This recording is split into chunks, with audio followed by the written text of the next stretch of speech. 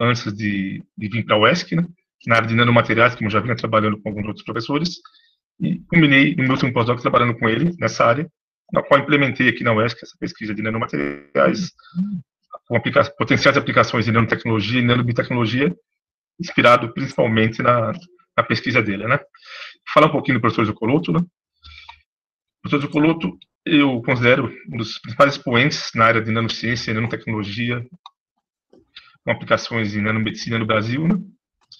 Ele é, é professor titular do Instituto de Física da USP de São Carlos, é o coordenador do Instituto de Estudos Avançados da USP de São Carlos, membro do Conselho de Nova USP, presidente da Comissão do Portal de Escrita Científica da USP de São Carlos e membro da Associação Brasileira de Editores Científicos.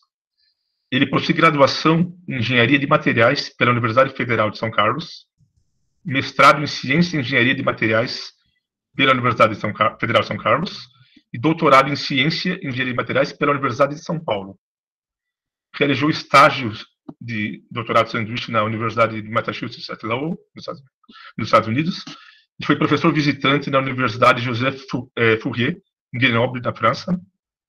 Tem experiência na área de nanotecnologia, desenvolvimento e aplicação de nanomateriais em medicina. Orientou dezenas de alunos de pós-graduação, supervisionou cerca de 40 pós-doutores, na Common Blue, publicou cerca de 180 artigos científicos em revistas internacionais, 14 capítulos de livros, 18 depósitos de patentes e possui mais de 4.900 citações em fator H de 39, entre 39 e 40 no Web of Science Scopus. Desenvolveu e ministra atualmente o curso de pós-graduação em técnicas de escrita científica em inglês.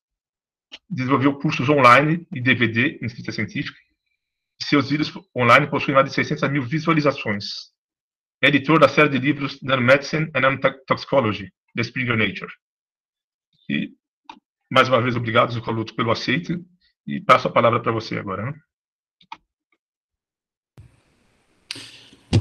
Muito obrigado, professor Luiz Carlos. É um grande prazer participar desse evento.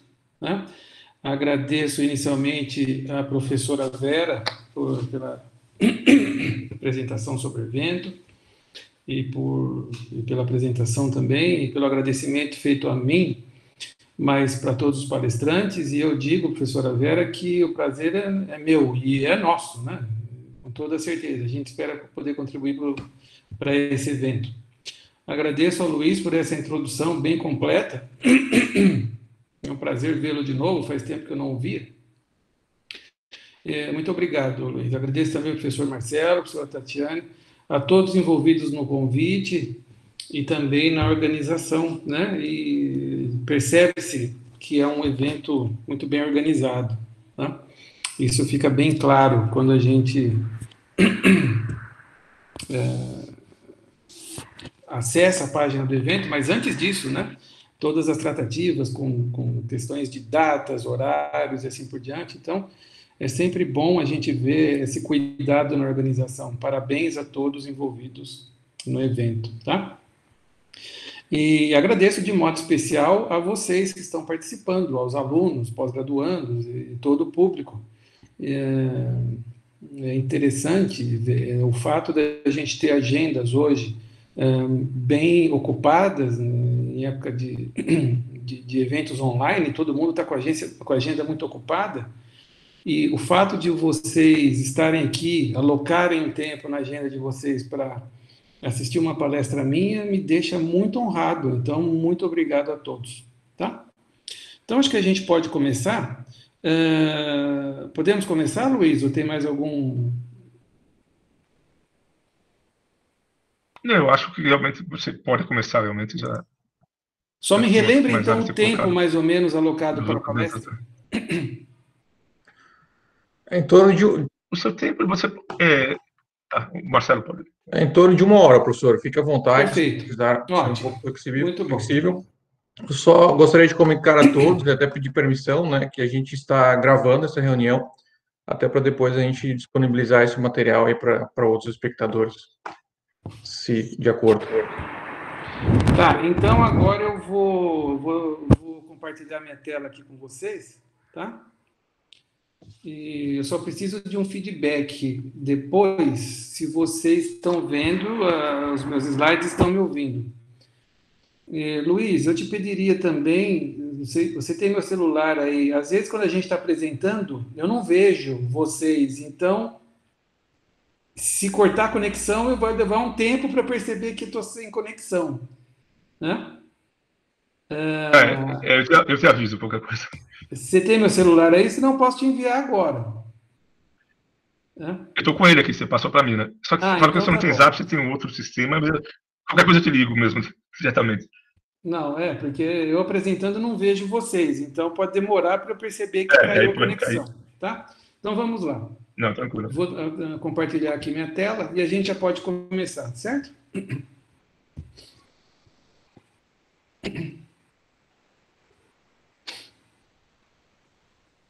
Bom, vocês veem minha tela?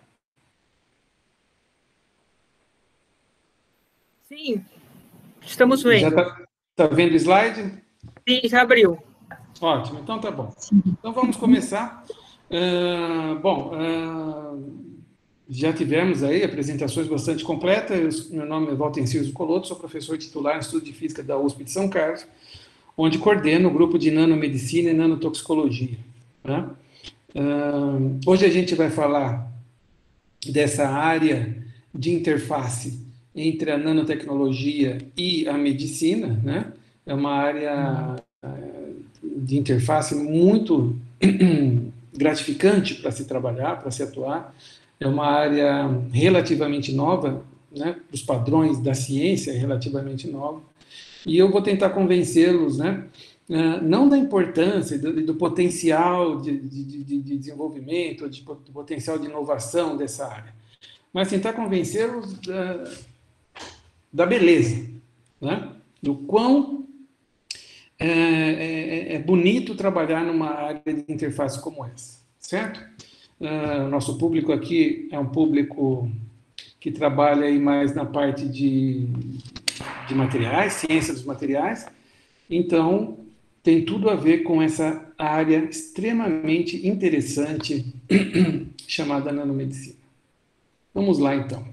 Uh, Para quem não conhece ali essa região, essa nossa região do interior de São Paulo, né? Uh, mais ou menos no centro do estado nós temos essa cidade onde eu moro, onde eu nasci também, cidade de São Carlos, nós temos um campo, na verdade agora são dois campos que nós temos a USP aqui em São Carlos, né? basicamente com, com, com um perfil aí mais tecnológico de exatas engenharias, e no Instituto de Física, uma dessas unidades do Instituto de Física, e dentro desse Instituto de Física que eu fundei há alguns anos e coordeno então o nosso grupo de uh, nanomedicina e nanotoxicologia. Né? Então, quando o professor Luiz esteve aqui conosco, esse grupo ainda não existia, eu pertencia a outro grupo de pesquisa, e logo depois que ele saiu, então eu fundei o nosso grupo e hoje a gente já conta com uma estrutura completa para o estudo de materiais para aplicação em nanomedicina e nanotoxicologia. Né? Nós temos técnicos, laboratórios, técnicos, eh, secretários. Uh, sempre temos, atualmente temos uma média de mais ou menos 30 alunos de iniciação científica pós-doc, isso varia um pouco, né? mas essa média é por volta de 20, 30 alunos para o nosso grupo. E nós temos todas as facilities aqui, todos os laboratórios equipados para qualquer tipo de, de, de design, síntese, caracterização e aplicação de materiais nas áreas médicas e do agronegócio também. Nós temos aí convênios com algumas empresas na área do agronegócio para aplicação de, de nanotecnologia. Bom, o outline dessa apresentação é mais ou menos esse que está em tela. A gente começa a falar um pouco, principalmente para dar uma uniformizada, não sei se todos são familiarizados com conceitos de, de nanotecnologia, mas a gente fala então alguns conceitos básicos de nanotecnologia. Eu sempre gosto de mostrar no Brasil a evolução da área de nanomedicina, de onde ela veio, quais são os backgrounds envolvidos, né, as pessoas, os principais atores aí, principais players, de onde vem, né? A gente vai falar disso rapidinho, e aí a gente parte para a primeira parte, que é a aplicação de nanomateriais para diagnóstico, depois nanomateriais para terapia, certo? Vários estudos de casos para várias doenças, principalmente com estudos e exemplos do nosso grupo, tá? Depois a gente vai falar também sobre uma parte de nanotoxicologia, ou seja, quais são os impactos e para que se estudar os impactos do uso de nanomateriais, né, tanto para a saúde quanto para o meio ambiente, termina com uma parte aí também de, de regulação, que advém né, desses estudos de toxicologia. Então, muito bem.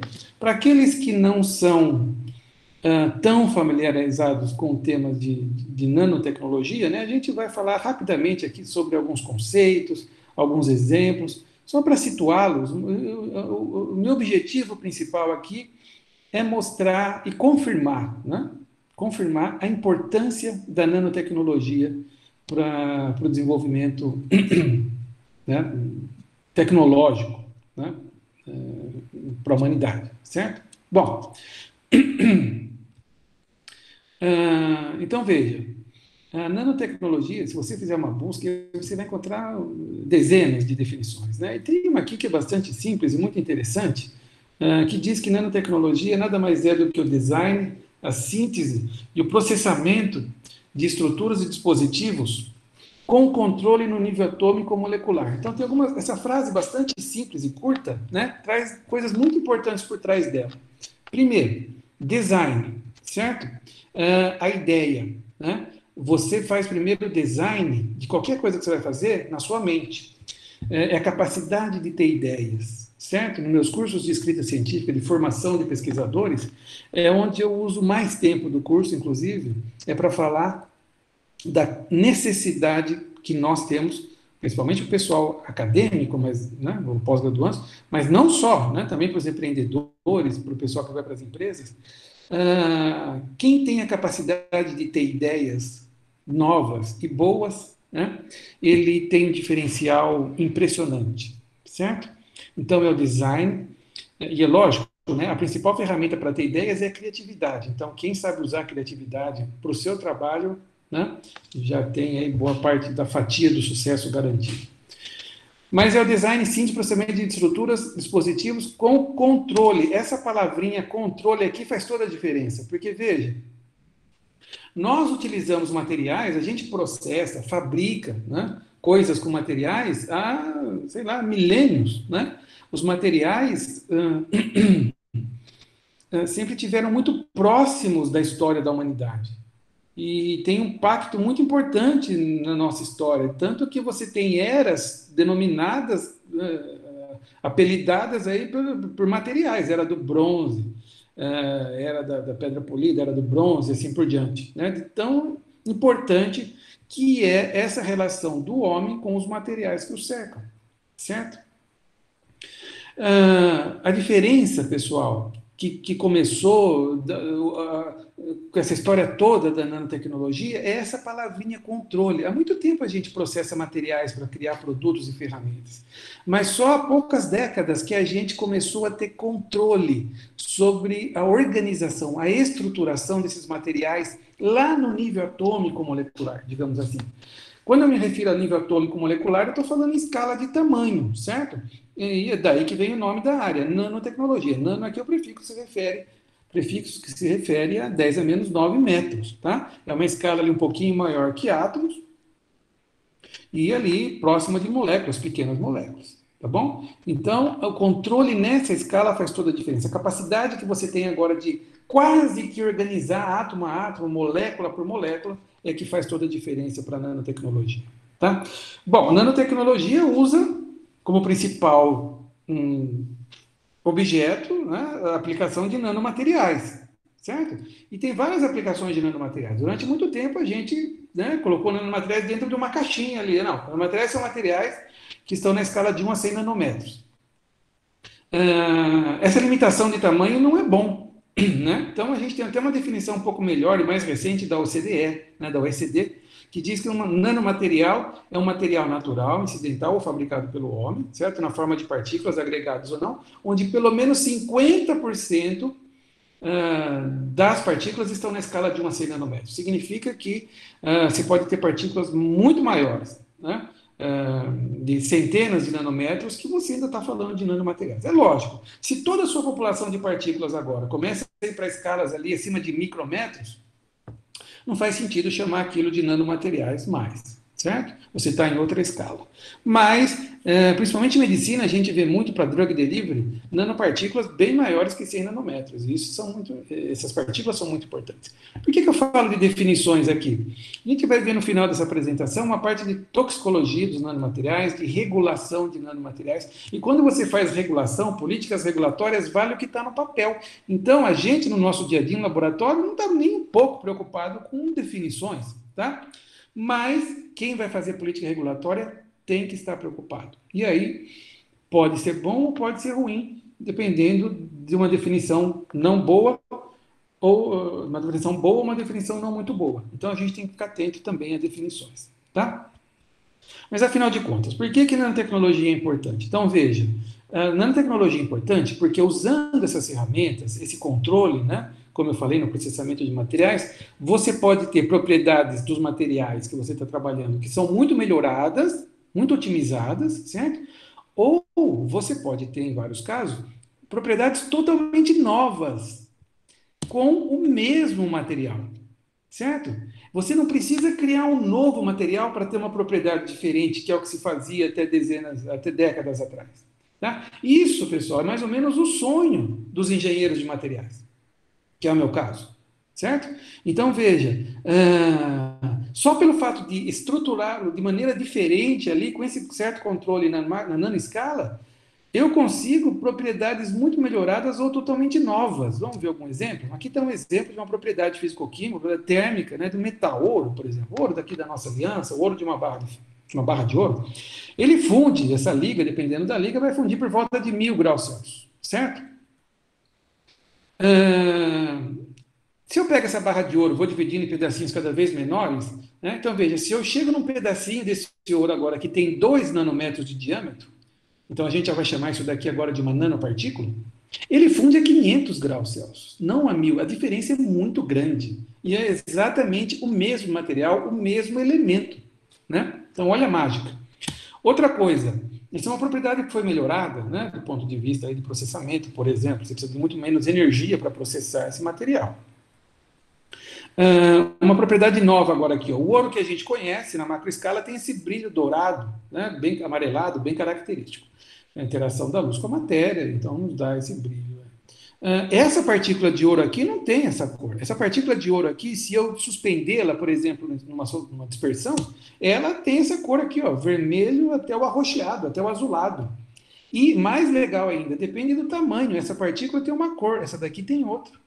Né? Então, veja, coisas muito melhoradas ou totalmente novas aparecem pelo fato de estar na nanoescala. Muito rapidamente, o que está por trás disso? Nesse caso aqui, principalmente, um, um, uma propriedade que advém da área superficial específica, muito grande. Então, é lógico, é só você imaginar, numa barra de ouro, a quantidade de átomos, tem uma certa área superficial específica. Certo? Então, a quantidade de átomos de ouro que está na superfície é muito pequena em relação à quantidade de ouro que está dentro da barra. Né? Não há comparação. Quando você vem para essa partícula aqui, pessoal, a área superficial específica dessa, explode. Se você pegar a mesma massa numa barra de ouro e transformá-la inteirinha, toda essa massa, em nanopartículas, a área superficial específica desse material explode de tão grande. Então, todos os fenômenos que dependem da interação do material com seu ambiente, por exemplo, propriedades térmicas ou eh, catalisadores, que dependem de reações químicas que ocorrem na superfície, vão ser muito modificadas. Certo? Então, primeira coisa quando você falar em nanotecnologia, nanomateriais, área superficial específica muito grande. Segundo exemplo, segundo efeito, né? Uh, confinamento quântico, tá? Essa cor que aparece aqui, né, que a gente vai chamar de uma cor devido à ressonância da banda plasmônica, né, uh, que acontece uma nanopartícula de ouro, mas não acontece numa barra grande, é porque a luz vai interagir de maneira diferente com essa nanopartícula, né? A luz, o campo elétrico da luz uh, incidente vai estimular aqui é, excitar esses elétrons da superfície, né? E numa barra de ouro, isso pode se deslocar para várias regiões da barra. Esses elétrons estão livres ali, né, pela superfície toda. Aqui não. Se você está radiando por um lado, se o fóton chega por um lado aqui, você consegue no máximo deslocar essa, essa, essa nuvem eletrônica para o outro lado da partícula. Esses elétrons não têm para onde ir. Por isso a gente daí o nome confinamento quântico, né? de maneira muito simplificada, obviamente. Certo? Então, essa nuvem fica oscilando de acordo com a,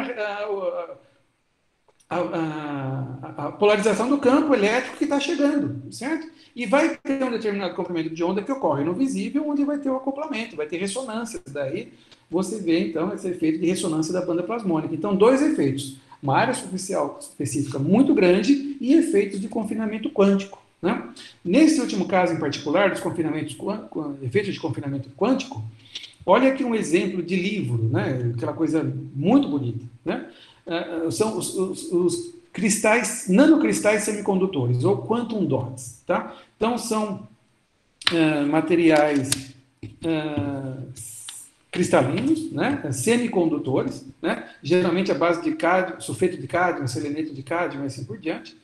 E O interessante desses materiais é que eles são altamente fluorescentes, eles emitem luz com uma eficiência muito grande. Quase que para todo fóton que chega da luz que está excitando, é, esse fóton sai na forma de luminescência. Né? Então a eficiência quântica que a gente chama é muito grande. Né? E, de novo, olha, ah, dependendo do tamanho, e aqui né, não dá tempo da gente ver, nem é o caso da gente ver aqui a física por trás disso, mas é tudo bem explicado, é mais ou menos o exemplo do elétron, da partícula numa caixa, né? É um pouco ali de física moderna, né? Então, a energia do gap desses semicondutores depende do tamanho da partícula, certo? Então, você vê aqui, ó, e a energia do gap é que vai determinar a energia da, da, da emissão, da fluorescência, tá? Da luminescência. Então, veja, você pode ter aqui partículas muito pequenas que emitem aqui, tem uma energia de gap uh, alta, né? que emitem aqui na região do azul, até partículas maiores que emitem na região do vermelho. Então você tem materiais que, que dependem, uma faixa de tamanho aqui, né, de 2 a 8 nanômetros, uma variação pequena, você tem aqui materiais emitidos em praticamente toda a região do espectro visível. Isso você só consegue com a nanoestruturação. Não há outra maneira de conseguir materiais trabalhando dessa maneira que não passe pela nanotecnologia. Isso é que é o bonito, isso é que é o interessante. Uh, na macroescala, na microescala, aquelas partículas na microescala já não tem mais nenhum desses efeitos, por exemplo. Tá? Bom, a nanotecnologia, então, como sendo uma, uma, uma, uma, tecnologia inovadora e que muitos consideram aí uma nova revolução tecnológica, eu também considero, né, tem sido usada para resolver grandes problemas da humanidade já há algum, algum tempo. Né? Então, por exemplo, alimentação, energia e saúde. Né? Então, a nanotecnologia tem sido utilizado já há, há, muitos anos né, na, na, na, área de pesquisas de energia, certo? Não só energia fóssil na área de petróleo, extração e assim por diante, tem bastante aplicações da nanotecnologia, mas principalmente nas energias renováveis, certo? Células a combustível, eh, células fotovoltaicas, é muito importante. Na área de alimentação, um pouco menos, é um pouco mais recente, né? Mas você já tem mais aí na parte de nutracêutica, várias proteínas, vários hum, nutrientes que podem ser nanoencapsulados ou nanoestruturados. É uma área que está nascendo aí e vai ser muito importante.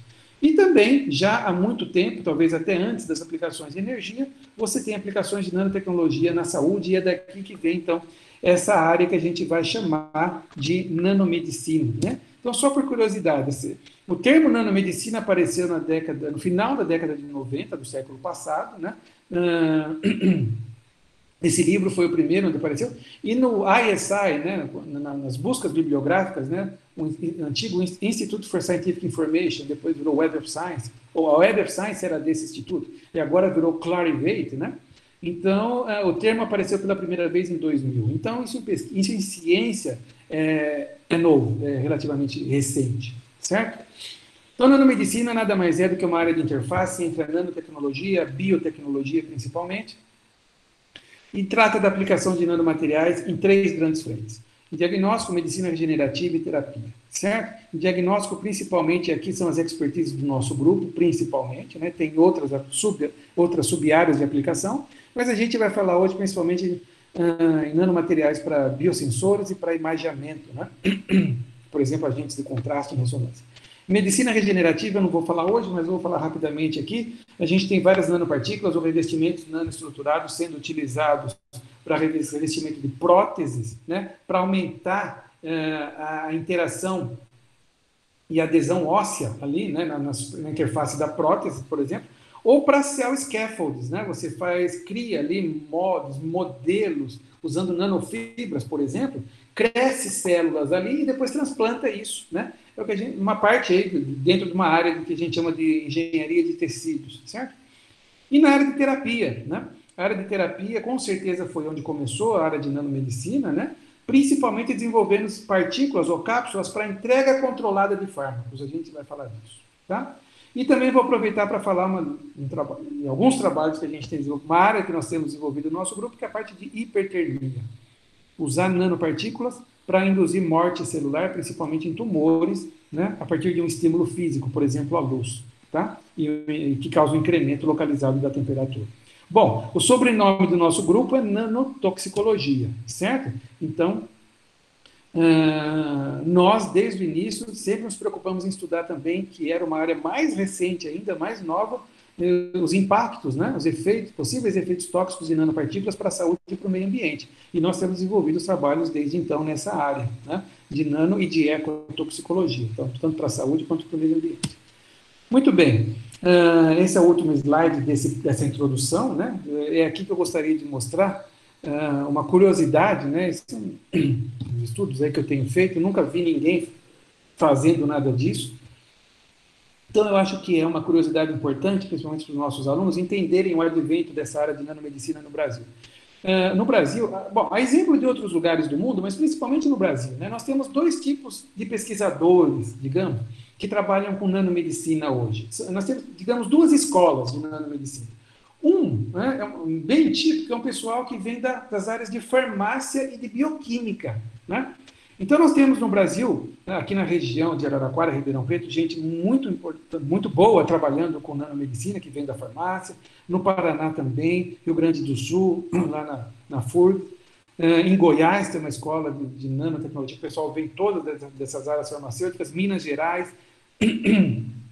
e no Recife também, e é claro que tem outros pelo país. Né? Essas são as mais importantes, preciso atualizar isso, inclusive.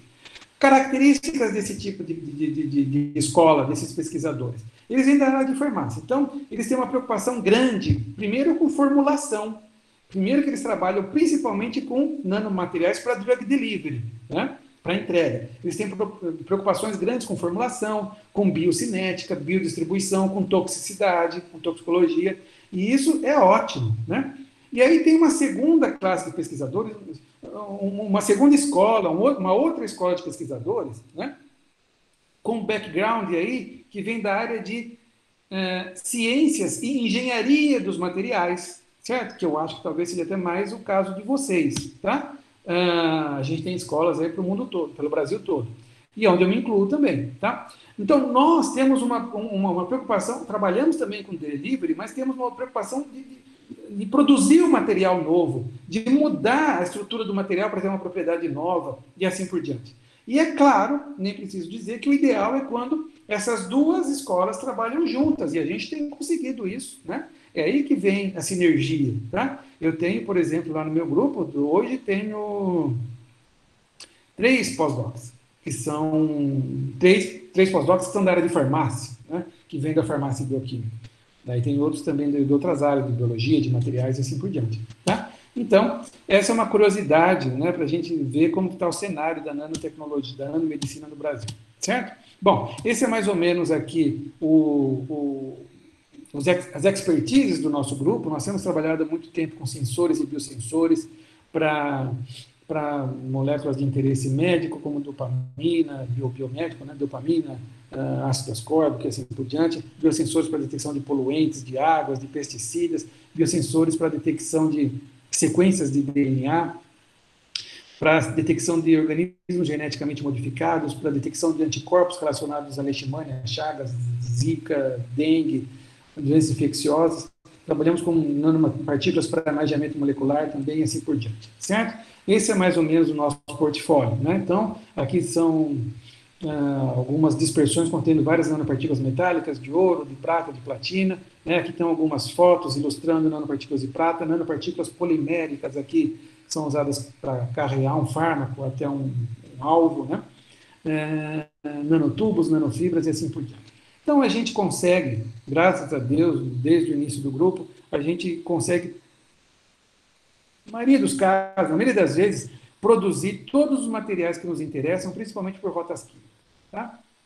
Mas nos últimos anos a gente está focalizado um pouco mais nos chamados materiais teranósticos. Esse é um hot topic. Quem tiver interesse, faça buscas. Na, uma, uma das palavras quentes, né, hot topics do, da, da área de nanomedicina são os teranósticos. São partículas que, ao mesmo tempo, podem fazer o diagnóstico e a terapia. Então, na mesma partícula, você tem as duas coisas combinadas, certo? Então, a gente tem trabalhado com nanoflores, né? São essas partículas todas espinhudas, assim, de ouro, por exemplo, óxido de grafeno, e esses nanorods de ouro aqui, esses bastõezinhos de ouro. Todos eles você pode fazer imageamento por diferentes técnicas, né? E localizá-los ao redor de um tumor, por exemplo, dentro do sistema biológico. E você pode excitá-los usando luz no infravermelho, promover o aumento da temperatura e ele causa hipertermia, matando o tumor, tá? Idealmente, né?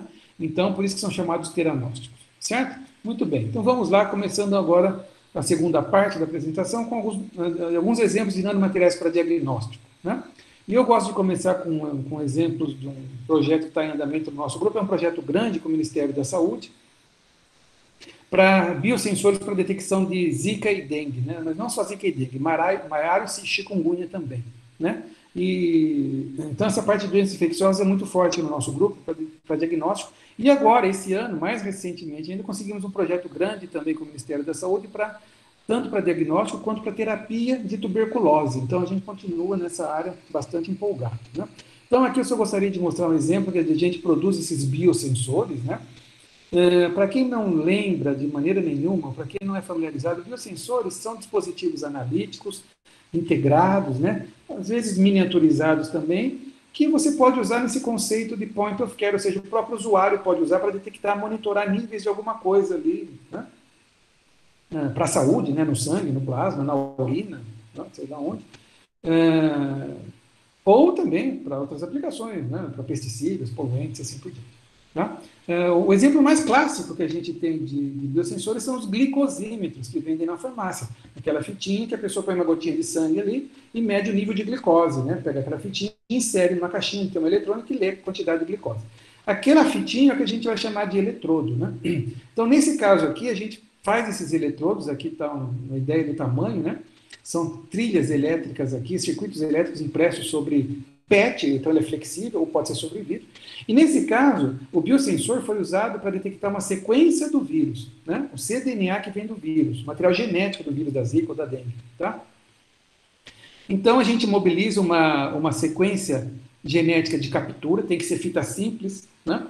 Sobre a superfície do eletrodo, de maneira que quando vem o material genético do, da amostra, né, se tiver aquela sequência genética do vírus, ela vai hibridizar, vai se ligar nessa sequência que está imobilizada aqui, e você consegue monitorar essa ligação, né, usando, por exemplo, uma medida de espectroscopia de impedância eletroquímica ou elétrica. Mas não vou entrar nos detalhes aqui. O importante é que no final você tem uma leitura, né? A eletrônica te permite essa leitura. A eletrônica é bastante simples, te permite essa leitura variação de uma, uma, uma, propriedade elétrica desse meu eletrodo, né, que é o que está aqui nesse eixo Y, em função da concentração nanomolar, por exemplo, do material genético. Vocês podem ver que quando é para Zika, tem uma resposta linear essa curva azul.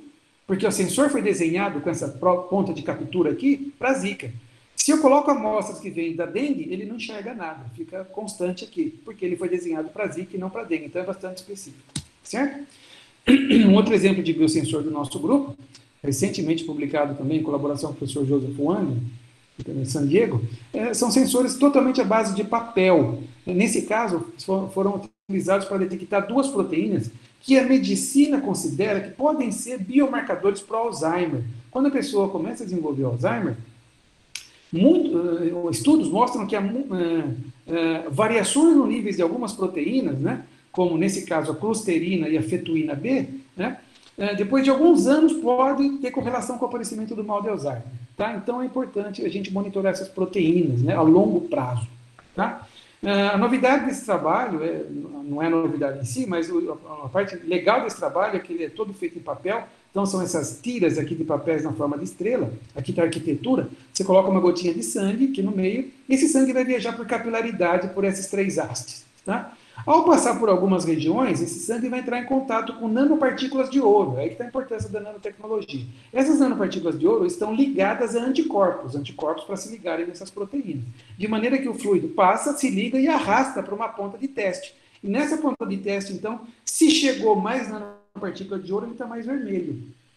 E você, com o software aqui da câmera do celular, consegue estimar até a concentração. Tem uma curva de calibração aqui, certo? Então, você consegue fazer essas medidas. É, esse sensor é para ser muito barato, é todo em papel. E nosso grupo tem produzido. Agora, vários sistemas também já estão ampliando isso para Zika, dengue. E está muito em moda esse tipo de sensor chamado lateral flow, porque esses testes rápidos para o Covid-19 que a gente está importando, principalmente da China, eles, esses, né, que são as tiras, né, que dá aquela, aparece aquela, aquela, aquela tirinha vermelha ali, muitos deles usam nanopartículas de ouro. Então, isso foi publicado também no ano passado, quem quiser mais detalhes podem entrar ali. Para terminar essa parte de nanomateriais para diagnóstico, eu vou falar de nanopartículas que são usadas para agentes de contraste em ressonância magnética. Então, ressonância magnética é um dos principais, uma das principais ferramentas, sem dúvida alguma, uh, da medicina hoje em dia, para medicina diagnóstica, uh, mas em alguns casos, ainda se o tumor é muito pequeno, dependendo do tecido, uh, a imagem não é perfeita, não tem uma resolução muito grande. Aí que você precisa usar agentes de contraste. Principais agentes de contraste hoje para ressonância magnética são a base de gadolínio, são quelatos de gadolínio. Né? O gadolínio tem essas propriedades aí magnéticas importantes, tem sete elétrons, bom, agora não lembro mais se é sete, se é nove, mas os químicos me corrijam aí depois desemparelhados, então você tem uh, um sinal de, de, de, de, ressonância magnética muito importante, né, que vem do, desse elemento do, do, do gadolínio, e você então consegue uma boa resolução, principalmente na imagem, na parte branca da imagem, na parte clara.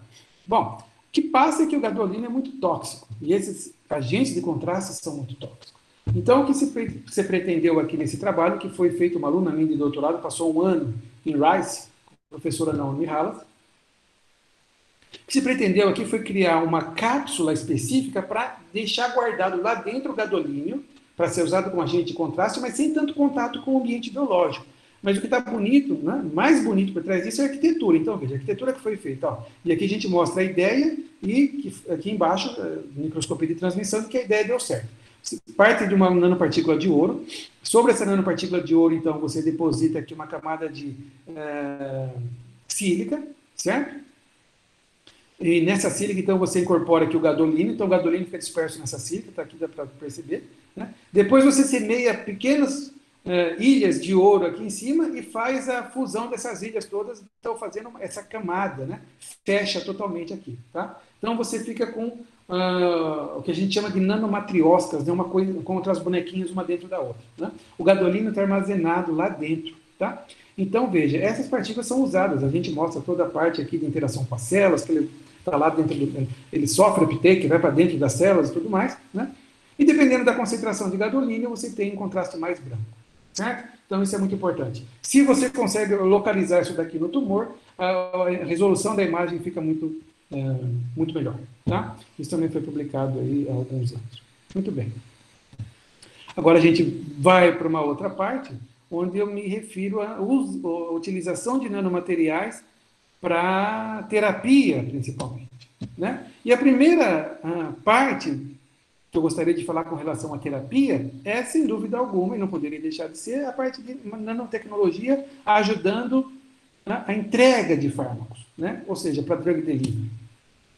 Então, veja, duas curvas aqui idealizadas. Né? Essa curva preta, que relaciona a concentração do fármaco no ambiente biológico em função do tempo, ela reflete o que a gente tem hoje. Quando a gente toma antibiótico, né, naquele momento a concentração vai lá em cima, depois passa um tempo, diminui a concentração, você toma depois de 12 horas outro antibiótico, outro comprimido, vai assim por diante. É, e, bom, é, funciona, tanto que a gente está vivo, está aqui até hoje. A gente mata as bactérias do nosso corpo, né? A maioria das vezes, graças a Deus. Mas, veja, seria mais legal, mais interessante se você tivesse um sistema que você fizesse uma aplicação, talvez, ou menos, né? E que ficasse liberando como essa curva vermelha aqui, certo? E isso é possível. Então, é isso que a gente chama de liberação controlada de fármacos, tá? Isso é possível e tem se tornado possível com o advento da nanotecnologia, certo? Então, veja, tem várias cápsulas ou partículas que servem para armazenar um fármaco lá dentro, ir para o sistema biológico, é, e liberar controladamente com o tempo. E mais ainda, liberar em algumas regiões, mais do que em outras. Por exemplo, mais no tecido tumoral do que no tecido saudável. Isso a gente consegue. Né? Então, veja, justiça seja feita. O pessoal de farmácia já trabalha com lipossomos há muito tempo, há décadas, certo? Antes dessas, de se falar em nanotecnologia, por exemplo, tá? Mas então a gente tem os lipossomos, emulsões, partículas sólidas lipídicas e assim por diante, tá? É, então são partículas baseadas em fosfolipídios ou lipídios, é, nanopartículas poliméricas, né? Você pode colocar os fármacos lá dentro, na superfície, usar essas moléculas aqui, ó, que são por si só nanopartículas, como os dendrímeros e assim por diante, na forma micelar ou não. Nanopartículas inorgânicas, nanopartícula de ouro você pode usar, você vai ligar os fármacos aqui todos na superfície. Sílica mesoporosa tem sido muito utilizado, a gente tem trabalhado bastante no nosso grupo nanopartículas magnéticas, nanopartículas à base de carbono e assim por diante.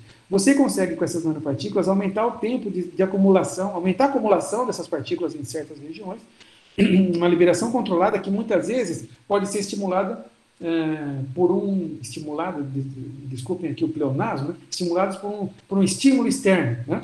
E, é, é, liberadas um, através de um estímulo externo, né? de maneira que você tenha menos efeitos desejados.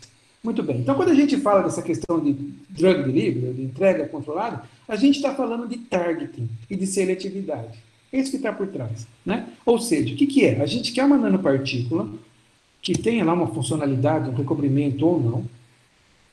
E o ideal é que a gente coloque isso no sistema biológico e essas nanopartículas, de alguma maneira, se localizem mais em regiões não saudáveis do que em regiões saudáveis. É isso que a gente quer. Se eu consigo fazer isso, se, se, isso acontece, aí eu posso pensar em diagnóstico. Por exemplo, essas nanopartículas podem ser agentes de contraste.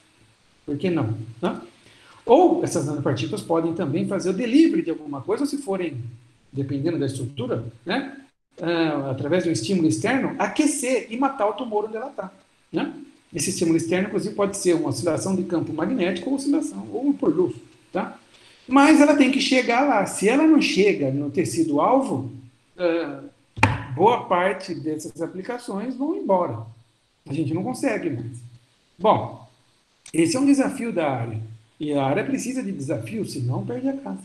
É, a boa notícia é que a gente consegue. A gente consegue, não por efeitos, não somente por habilidade nossa, né? mas a gente consegue por dois principais efeitos. Um não tem nada a ver conosco. Isso tem ali, isso já é uma mãozinha de Deus aqui ajudando, né? da natureza. Né? É um efeito chamado EPR, ou seja, Enhanced Permeability and Retention Effect. Então, veja, uh, isso vale para tumores, tá? Embora haja alguma controvérsia, mas é inegável esse efeito, muito bem comprovado, tá? Mas uh, uh, para tumores, né? Ah, quando você tem nanopartículas circulando no sangue, naturalmente, depois de algum tempo curto, minutos ou horas, você tem né, horas, né? Você tem mais acúmulo dessas nanopartículas no tecido tumoral do que no tecido saudável. Por quê? Porque num tecido saudável, que cresceu normalmente, que teve a sua angiogênese natural, bonitinha, com o tempo, os vasos sanguíneos ali são todos perfeitos, bonitinhos. As paredes do vaso são bem homogêneas. Então é difícil uma partícula permear para o tecido. Num tumor que tem que crescer muito rápido, a angiogênese é muito forte, muito rápida, é natural que os vasos cresçam e fiquem com heterogeneidades, imperfeições na, na parede do epitélio interior. Então, esses poros acabam permitindo que as partículas passem para o tecido mais rapidamente. Então veja que coisa interessante. Além disso, um tecido saudável, o sistema linfático funciona muito bem para limpar aquilo que a célula não quer. Num tecido tumoral, o sistema linfático, e há vários registros disso, ele é prejudicado. Então são duas coisas que se combinam. Você consegue jogar, acumular mais partículas no tecido tumoral e o corpo consegue eliminar menos partículas do tecido tumoral. Naturalmente você tem esse acúmulo. Então veja que coisa interessante. Mas além disso, aí é que entra a nossa parte, né? A gente consegue também fazer uma acumulação ativa. Ou seja, eu posso revestir a minha nanopartícula com ligante, um anticorpo, uma proteína, um, um apitâmero, uma sequência de DNA, que eu sei que vai interagir de uma maneira mais específica com alguma proteína na membrana, com alguma uh, região da membrana da célula que eu quero localizar. Então, são duas formas de fazer esse acúmulo em regiões específicas. Bom, uh, então a gente pode usar isso para. Uh, nosso grupo tem trabalhado com sistemas de drug delivery, sem dúvida alguma, uh, principalmente na área do agronegócio, mas também vários, alguns trabalhos na parte de, de, de medicina, né, para oncologia principalmente. E agora, eu não vou falar especificamente de partículas para delivery, mas eu vou misturar as duas coisas aqui. Eu vou falar de hiper, hipertermia junto com a parte de delivery controlado. Como que a gente consegue uh, aumentar a eficácia de localizar uma nanopartícula em uma determinada região, né, um, um tecido ali tumoral, certo? Eu vou focalizar nisso porque é uma expertise que uh, nós somos os pioneiros no Brasil, né? Uh, que é a manipulação de membranas celulares. Eu vou falar disso dentro desse conceito de hipertermia, tá? Bom, então vamos fazer um parênteses aqui. Na, na verdade, não é um parênteses, vamos fazer um stand-by na parte de delivery, mas a gente retoma daqui alguns slides. Vamos falar de hipertermia. Bom, hipertermia nada mais é do que você tratar alguma doença com aquecimento da temperatura. Então, isso já existe há centenas de anos. Você tem imagens aí da Idade Média, pessoas sendo tratadas ali com a perna em cima de uma fogueira e tudo mais. O que acontece é que a hipertermia ganhou um, um, um aliado muito grande nos últimos anos ou nas últimas décadas, que são as nanopartículas, certo? Então, quando você aquece a região que você quer tratar, isso funciona também para câncer, para tumor, né? Entre 41, são números mágicos aqui, né? 41 a 48 graus Celsius, é uma região que você né, necess... não necessariamente danifica as células saudáveis, mas você pode induzir apoptose aqui em células uh, doentes, que são mais suscetíveis à variação da temperatura. Isso é o conceito que a gente chama por hipertermia. Né? E por que a nanotecnologia ajudou tanto? Porque, veja, eu não preciso esquentar a perna toda do cidadão. Se eu consigo localizar nanopartículas ao redor de um tumor e depois, de, com algum estímulo externo, eu promovo o, aqueci, o, aquecimento dessas nanopartículas, ele só vai aquecer onde tem nanopartícula, certo? Então é muito preciso. E se eu conseguir antes localizar essas nanopartículas no tumor, praticamente só aquela região. Os efeitos colaterais são muito diminuídos, é aí que vem. Tá? Então, nosso grupo tem trabalhado com alguns materiais para hipertermia, principalmente para fotohipertermia, quer dizer, o aumento da temperatura uh, a partir da incidência de luz. É muito mais confortável do que a outra estratégia que a gente tem, que a gente já trabalhou no passado também, que é aumentar a temperatura a partir de uma variação, um estímulo, nesse caso, seria a variação de um campo magnético, um campo magnético oscilante, por exemplo, né? se você aplica aí 400, 500 kHz nesse campo magnético, ele vai ah, excitar uma nanopartícula, só que aí tem que ser uma nanopartícula magnética, um óxido de ferro, por exemplo, que está lá dentro, e ele responde essa variação de campo e aquece, gera aquecimento. Mas tem algumas limitações. A gente acha mais simples trabalhar com fotohipertermia. Os principais materiais que a gente tem trabalhado são os nanorods, nanobastões de ouro, óxido de grafeno e essas nanoflowers. A gente vai falar de, desses dois principalmente, tá? Vamos lá. Primeiro são aplicações, então, de óxido de grafeno. Aqui são os flakes de grafeno, né? uma imagem de microscopia de força atômica. A gente consegue separar por tamanho. A gente produz esses, esses óxidos de grafeno por esfoliação a partir do grafite. É, nesse caso, a gente funcionaliza esses óxidos de grafeno aqui, então você pode separar por tamanhos e tal, né? É, então veja que excitando com laser aqui, em, em alguns minutos, você aquece a temperatura aqui, ó, mais de 20 graus Celsius, nem precisa tanto, né? Mas dependendo da concentração, você pode atingir temperaturas muito altas, tá? Desligando o laser, então você dissipa todo esse calor. Então é isso, é essa a propriedade que a gente quer, certo? Então aqui tem um exemplo, né? Um, um trabalho onde uh, óxido de grafeno foi funcionar, na verdade é óxido de grafeno reduzido, né? Funcionalizado com, com glutamina, foi é, usado para incubar células RILA, células cancerosas. É, essas são concentrações de partida no grafeno na cultura de células, né? E depois de lavada a cultura celular, né, ficou só o grafeno que foi internalizado nas células. Aí foi irradiado com laser aqui e você vê que a partir das concentrações você consegue diferentes aumentos da temperatura, né? E a gente mostra que esses aumentos de temperatura são responsáveis por causar mais morte celular do que se você só irradiasse com laser ou se você só usasse grafeno, né? Então, isso mostra a viabilidade de usar esses materiais como agentes uh, para hipertermia, certo? E vou para outro exemplo agora, que são os de nanorods, né? Nanorods para hipertermia, para fotohipertermia, tá? Deixa eu ver como está o nosso tempo, está tranquilo, estamos dentro do, eh, estamos com, tranquilos aqui com o tempo. Então, veja, antes de falar de nanorods, que são nanobastões, vamos falar de partículas esféricas. Então, nanos, nanosferas ou nanopartículas esféricas de ouro têm sido muito utilizadas. Eu acho que é o nanomaterial mais utilizado no mundo, talvez, depois de nanopartículas de prata. Né? Mas em medicina, com certeza, é um dos mais utilizados. Uh, em eletrônica também, né? em ótica também, por causa das propriedades óticas.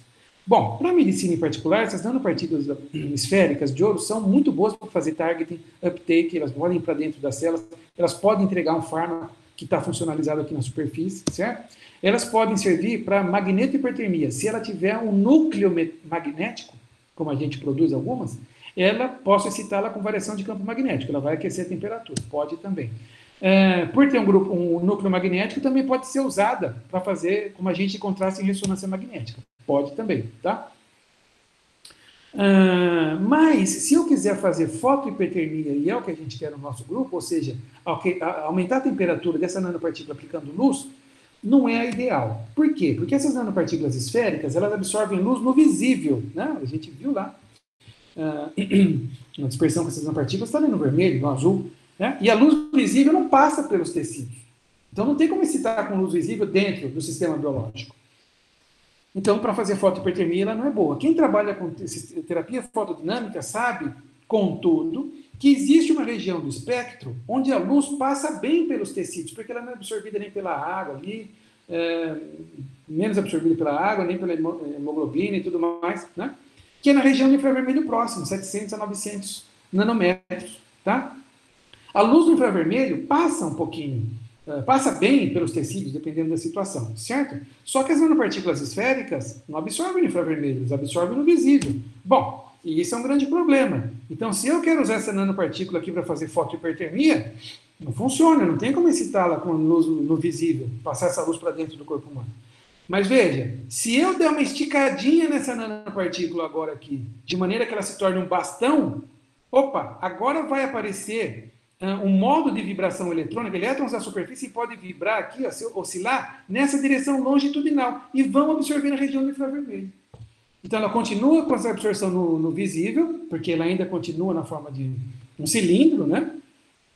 Mas tem esse outro modo de oscilação eletrônica aqui, que é longitudinal, que faz com que ela absorva no infravermelho. Então, os nanorods, veja que no infravermelho ainda a, a intensidade de absorção é maior. Então, esses nanorods são ótimos para fazer fotohipertermia. A gente tem trabalhado bastante, que são alguns materiais que a gente tem produzido, e eu consigo, é, dependendo do que a gente chama de razão de aspecto, que é o comprimento dividido pelo diâmetro, pela largura, né? É, variando essa razão de aspecto, eu consigo até fazer um tanning, né? um ajuste para que ele absorva numa região ou na outra dentro do infravermelho, que é onde me interessa. Né? Aqui são algumas dessas essas três aqui são três dispersões, aqui são as sementes, né? Aqui são três dispersões de nanorods, de ouro, tá? É, então a gente tem trabalhado com esses materiais, produzimos aqui vários nanorods, Uh, a química é um pouco mais complicada, a síntese é um pouco mais complicada, mas a gente pode contar com uma química, uma pesquisadora fantástica em química, que era a Valéria, acho que o Luiz conheceu, a Valéria Marangoni, que começou com essa síntese de nanorods no nosso grupo, né? Bom, a gente tinha então esses nanorods que poderiam ser utilizados para fazer hipertermia. Agora eu faço o link lá atrás para deixar em aberto com a nossa uh, drug delivery, como que eu entrego essas, esses nanorods no nosso tumor? Ah, várias maneiras. Eu posso colocá-los dessa maneira mesmo, aplicar de maneira peritoneal, por exemplo, intravenoso, nos modelos animais. Ou posso colocá-los dentro de uma cápsula polimérica. Há várias maneiras. A gente quis inovar e deu certo. Uma coisa que alguns, poucos grupos ainda fazem no mundo e no Brasil acho que nós somos pioneiros. Né? Então a gente pensando em como entregar de maneira eficiente esses nanorods nos tumores, a gente começou uma área muito importante de manipulação de membrana celular para construção de nanomateriais. Então, são nanomateriais, nanopartículas que não são fabricados de polímero, nem de metal, nem ossos, nem de cerâmica.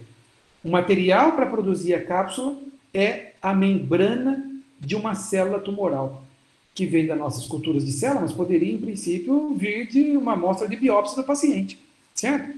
Então, está aqui, ó, a gente faz cultura celular, extrai as membranas, células normais ou células cancerosas, extrai e processa essas membranas. É, ou em duas dimensões, para estudar toxicologia, se der tempo eu vou falar no final, mas principalmente para criar essas cápsulas, para entrega controlada. Então, o que a gente vê em tela aqui é uma cápsula com mais ou menos 100 nanômetros de diâmetro, é, com dois nanorods lá dentro. Então, veja, essa cápsula é feita com a membrana de uma célula cancerosa A549, tumor de pulmão. Tá? Qual a vantagem de eu fazer uma cápsula com a membrana da célula daquele tecido que eu quero atingir, do tumor que eu quero atingir, e não uma nanopartícula polimérica? Você se ah, beneficia de um conceito que a medicina já conhece, chamado de adesão homóloga, certo? Essa adesão homóloga, homóloga já é conhecida na literatura médica, que ela nos diz que ah, células cancerosas possuem a habilidade de reconhecer, se reconhecerem, né, e, e, e interagirem para fazer o tumor crescer mais rapidamente, por exemplo, uma metástase, né? Quando você tem células ali circulando, uma célula adere e vem outra e pode ter esse reconhecimento rápido com essa célula. Esse reconhecimento é feito por algumas proteínas de membrana, principalmente, né? Algumas galactinas, por exemplo, né? Então, quando eu crio uma cápsula que é feita com a membrana da própria célula do meu tumor, do tumor alvo, certo? Eu ganho nessa interação. Essa nanocápsula, quando chega no tumor, por ser o mesmo material, você tem adesão homóloga, por ser a mesma, mesma superfície, e é mais fácil para essa célula é, incorporar essa membrana, essa cápsula incorporar na membrana e liberar o meu payload, que são ou fármaco, ou nesse caso os nanorods dentro da célula. Então a gente fez aqui, usou isso daqui uh, para ver a habilidade disso, né? Em culturas celulares e células A549, mas então veja, aqui tem duas coisas. Eu consigo aumentar o uptake, porque eu estou usando uma membrana que reconhece a célula do tumor, e eu vou usar também uma outra frente aqui, que é a hipertermia. Eu vou irradiar essas, essas nanorods lá dentro das células. Aqui tem toda a parte de citometria de fluxo, mostrando que você está realmente induzindo a apoptose celular. E a gente mostra aqui que você tem uma maior eficiência quando você tem esse sistema comparado com nanorods puros. Bom, essa foi a primeira geração de cápsulas à base de membrana que a gente fez no grupo. Aí a gente avançou um pouquinho, tá? Esse trabalho também é da Valéria. Muito bonito. Então, veja, aqui a gente atacou um tumor por mais de uma frente a gente criou as cápsulas primeiro, né? Então a gente é, extraiu a membrana, né? Essas membranas foram usadas para construir cápsulas para incorporar nanorods, agora muito mais nanorods lá dentro. Então é um ataque físico, porque a gente vai aquecer esses nanorods por hipertermia, mas é também um ataque químico dessa vez. Porque na membrana a gente incorporou um, um quimioterápico, que é o beta-lapachona. O beta-lapachona é um quimioterápico muito importante, porque ele só é ativado, ele só fica tóxico dentro da célula cancerosa e não da célula normal. Isso é muito bom. O problema da beta-lactona é que ela é insolúvel, é muito difícil fazer a formulação. Então, esse problema foi em parte resolvido, porque ele aqui está incorporado na membrana, né, região hidrofóbica. Então, a gente extrai as membranas celulares das células, né, do tecido-alvo, uh, incorpora a beta-lapachona, depois vem aqui numa rota de coextrusão com os nanorods, e aí a gente obtém cápsulas como essa. Aqui não dá para ver a cápsula, mas dá para ver a quantidade de nanorods que dá lá dentro. Não dá para ver a superfície, né? Mas olha a quantidade de nanorods que a gente consegue. Então, isso foi usado in vitro e em vivo. Então, primeiro a gente mostra que isso foi administrado ou incorporado nas células, isso vai para dentro das células, vai para o núcleo celular. Aqui um ciclo de aquecimento, ó, em 20 minutos você aquece mais de 30 graus Celsius, é mais do que suficiente para reduzir a. Então veja aqui, ó, as cápsulas estão aqui, sem radiação, 10 minutos depois de radiação começam a liberar os nanorods, 20 minutos já liberou todos os nanorods. O que está acontecendo aqui? Você está irradiando, uh, gera o aquecimento, esse aquecimento serve para desestruturar a membrana, então ele rompe a membrana, rompe a cápsula, libera a beta-lapachona e libera os nanorods também. Então você consegue promover esse aquecimento. Então foi feito um estudo in vitro em parceria com o professor Wagner Fávoro da Unicamp, também um grande colaborador, um grande amigo, em modelos animais. Então, aqui foi aplicado uma vez esses nanorods nos modelos animais que estavam com tumores, né? uma radiação de 5 minutos. Então, isso serviu para uh, impedir o crescimento dos tumores e, em muitos casos, também uh, regredir totalmente o tumor. Tá? Isso foi publicado também no ano passado. Quem quiser os detalhes estão aqui.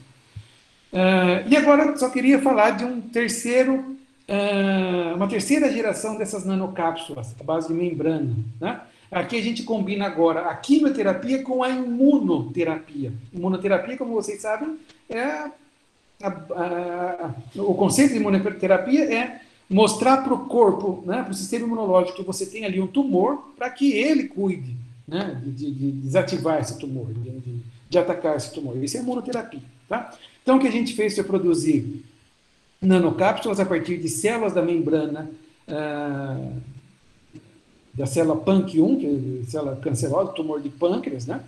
É, a gente, então, na cápsula incorporou dois quimioterápicos de primeira geração, gencitabina e paclitaxel, certo? Isso foi para dentro das células, tá? Aqui tem algumas imagens dessas nanocápsulas, por AFM, por microscopia de varredura, por microscopia de transmissão e por criotransmissão também. A gente vê que nesses casos, elas formam mais ou menos como vesículas, nesse caso aqui uma vesícula dentro da outra. Então aqui tem a membrana da célula, e a ideia é que a membrana da célula ative o sistema imunológico, mas também entregue os, anti, os quimioterápicos. Então, aqui estão os perfis de liberação do quimioterápico, né? Para diferentes pHs, certo? Uh, todo o perfil celular por citometria de fluxo, mostrando que você consegue internalizar uh, essas cápsulas lá dentro e tal, e que você está realmente induzindo a apoptose. né? E aqui você mostra que as células que foram incubadas com essas cápsulas apresentaram mais morte celular do que as que não foram eh, dependendo da concentração, quanto maior a concentração, mais morte celular para células cancerosas. Para células saudáveis, olha que interessante, não teve um efeito tão grande, então isso é muito bom. Então mostra aqui o ataque químico. E mostra também nesses gráficos aqui, ó, a produção de moléculas, né? Esse foi um estudo feito em células dendríticas incubadas com essas nanocápsulas, mostra que essas células então começam a expressar mais uh, moléculas coestimuladoras do sistema imunológico, por exemplo, CD80, 83, 86, que mostra que você tem aqui um efeito imunológico muito importante de imunoterapia. Então a gente consegue essas duas coisas. Esse artigo também acabou de ser publicado numa revista que esse ano, né, é uma revista de, de acesso aberto, quem tiver interesse pode olhar. E termino uh, falando um pouco de nanotoxicologia. Tá? Muito bem. Então nós temos hoje mais de 3 mil produtos já sendo utilizados à base de nanomateriais. Então, tem gente produzindo, gente utilizando, manipulando e gente descartando nanomateriais e nanopartículas, certo? Então, tem pessoas em contato e, quando descartam, em algum momento, esses materiais vão para o meio ambiente, sem dúvida alguma. Né? Para o solo, para as águas e assim por diante. Eu, por muito tempo, coordenei uma das redes, o CNPq lançou quatro redes de nanotoxicologia, né, há alguns anos, eu coordenei uma delas, né, com pesquisadores aí do Brasil todo, do mundo, de outros países também. E lá a gente dividia as nanopartículas por classes, né, carbono, a base de carbono, metálicas, poliméricas ou dióxidos, né? E a gente se concentrou principalmente em estudos de toxicologia com potencial de regulação, né? Publicamos muitos artigos também, mas o interesse maior era produzir protocolos, né, para testes de eficácia e de segurança. Então, só um exemplo aqui, são resultados típicos de estudos de nanotoxicologia. A gente faz, então, toda a parte de nanotoxicologia in vitro para células de mamíferos, para células de mamíferos, e a gente mostra, então, que células saudáveis do sangue podem sofrer, podem sofrer morte celular devido à presença de nanopartículas de ouro. A gente também estuda, né, uh, efeitos, de, uh, ensaios que a gente chama aqui os efeitos de, a gente estuda os efeitos de, da nanopartícula no DNA, no material genético das células, então esses são ensaios de cometa, né? E a gente tem publicado vários estudos aqui. Vou passar um pouco mais rápido aqui em alguns exemplos. Já peço desculpas por isso, mas vou para a parte regulatória, né? Então veja, nós temos uh, no mundo todo agências uh, como a gente tem a Anvisa no Brasil, ou o FDA nos Estados Unidos, várias agências regulatórias. Né? E na maioria delas, ainda são poucas as que tem, não existe uma política ainda para regulação, para o registro de produtos à base de nanotecnologia. A gente tem os produtos porque geralmente são analisados em função do princípio ativo, não na forma como eles estão estruturados, que é o que a Anvisa faz. Né? Não só a Anvisa, mas várias outras agências. Bom, há uma preocupação muito grande né, de ter essas políticas já bem colocadas.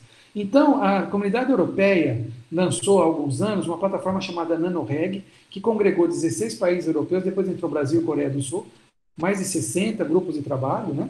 E nós, no Brasil, eh, o MCTI convidou oito grupos de pesquisa, nosso grupo foi um dos convidados, quem coordenou foi um grupo do IMETRO, né, o professor José Grangeiro, eh, para uh, fazer parte desse consórcio, dessa plataforma de grupos, para estudar toxicologia de nanopartículas. Então, as partículas eram fabricadas todas em um lugar na Itália, né, para não ter variações, distribuídas para todos os grupos, as principais partículas, aí, né, prata, TiO2 e assim por diante, as principais nanopartículas, e eram feitos todos os tipos de testes, in vitro, in vivo e assim por diante, né, para se criar protocolos. Então, nosso grupo foi responsável por testes de toxicidade de nanopartículas é, é, de óxido, né, em peixes, certo? Então a gente foi responsável por desenvolver o protocolo, ou seja, recebeu as nanopartículas, uh, tenta dispersá-los por ultrassom. Se não dispersa, use tal potência do ultrassom de tal marca. Se não dispersar, adicione tanto de matéria orgânica, tá? e assim por diante, todos os passos. Né? Separe tantos animais para os peixes, né? deixe incubado por tanto tempo, todo o protocolo direitinho.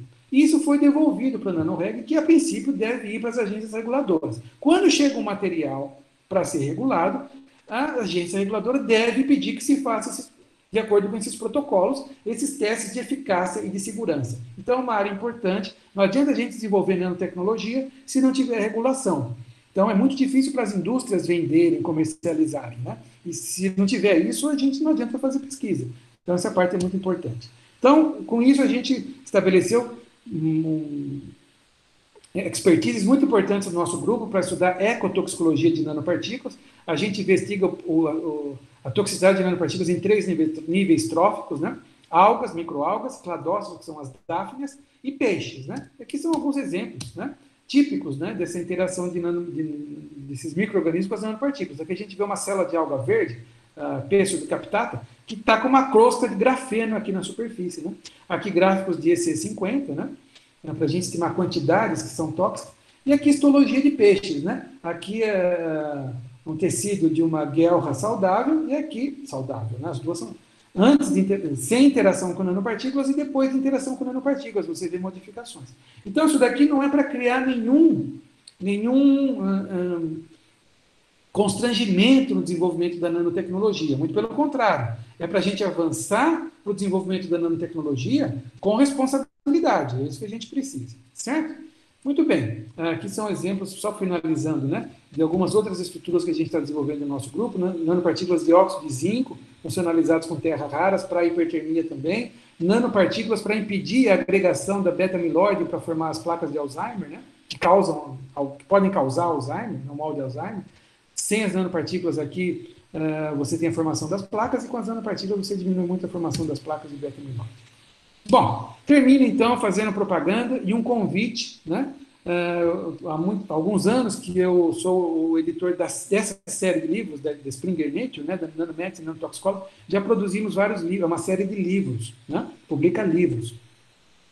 Então, já produzimos vários livros aqui, inclusive de brasileiros, né? tem agora três livros já de autores brasileiros. Então, qualquer autor que queira ou escrever seu próprio livro com alguns outros colaboradores, ou editar o livro, convidar vários autores, cada um escreve um capítulo, é, pode se beneficiar dessa nossa série, desde que seja qualquer tema relacionado a essa qualquer tópico dentro dessa temática. Né? A Springer Nature te dá uma ótima visibilidade, não cobra para publicar seu livro e ainda te paga os royalties. Então, quem tiver interesse, pense nisso, é um convite. Né? Pode entrar em contato comigo ou diretamente com a Springer.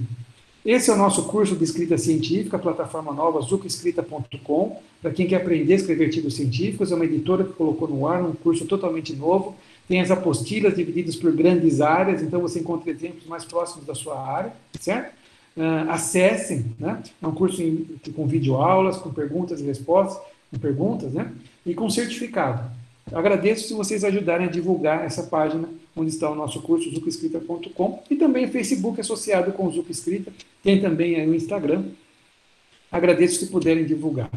Esse é o nosso grupo de pesquisa, então são uma foto um pouco mais antiga, né, mas não tão antiga quanto, quanto o professor Luiz estava lá, que ainda não tínhamos o nosso grupo. É uma foto um pouco mais recente, mas também nem tanto, precisa ser atualizada. E aqui algumas pessoas, né, esses são os nossos alunos de iniciação científica pós-doc, nossos secretário, técnico, eles que carregam piano, então o meu enorme agradecimento a todos os integrantes do nosso grupo. E só para ilustrar aqui, é um grupo bastante multidisciplinar, nós temos físicos, químicos, engenheiros de materiais, nós temos pessoal de biotech, nós temos o pessoal de biologia, biólogos, é, ciências farmacêuticas, é, física médica, física biológica, então é um grupo bastante é, multidisciplinar. Estendo o convite, assim que possível, quem quiser nos visitar, tomar um café, conhecer nosso grupo de pesquisa, vai ser um prazer. Né? Quem quiser também tiver interesse em fazer pós-graduação conosco, pós-doc, vai ser um prazer recebê-los. Muitíssimo obrigado novamente à comissão organizadora, ao professor Luiz Salé, pelo primeiro contato. E muito obrigado a todos.